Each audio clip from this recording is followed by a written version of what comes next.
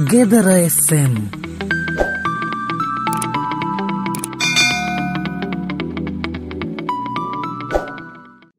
ලංකා සතුසේ අද සිට භාණ්ඩවර්ග කීපයක මිල ගණන් පහළ දැමීමට තීරණය කර තිබේ. ඒ අනුව සුදුසීනි මිල රුපියල් නමයකින්ද තිරිඟු පිටි මිල රුපියල් දාහතරකින්ද සුදුලූුණු මිල රුපියල් තියකින්ද ලොකුලූුණු මිල රුපියල් හතලිස්තුනකින්ද පහළ දැමීමට තීරණය කර ඇත.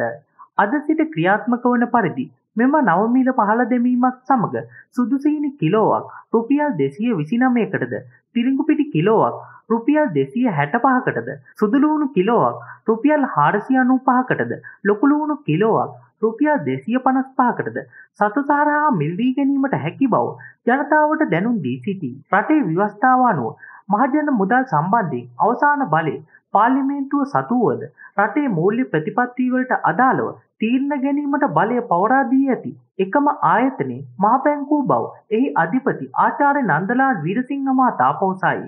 කොළඹදී සංවිධානය කර තිබූ උත්සවයක් අමතමින් ආචාර්ය නන්දලාල් වීරසිංහ මහතා පැවසුවේ අයවැය විවාදයේ අතරතුර සිදු ඇතැම් ප්‍රකාශ දෙස බැලීමේදී පෙනී යන්නේ ඒවා මහ බැංකුවේ භූමිකාව පිළිබඳ අඩු අවබෝධය නිසා සිදු කළ ප්‍රකාශ බවය.